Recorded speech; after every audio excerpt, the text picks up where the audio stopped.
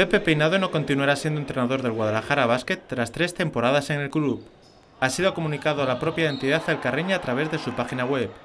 El club subraya que esta ha sido la mejor temporada de su historia, finalizando en la quinta plaza, y recuerda que Pepe Peinado también fue coordinador de cantera en su primera temporada y segundo entrenador en la siguiente.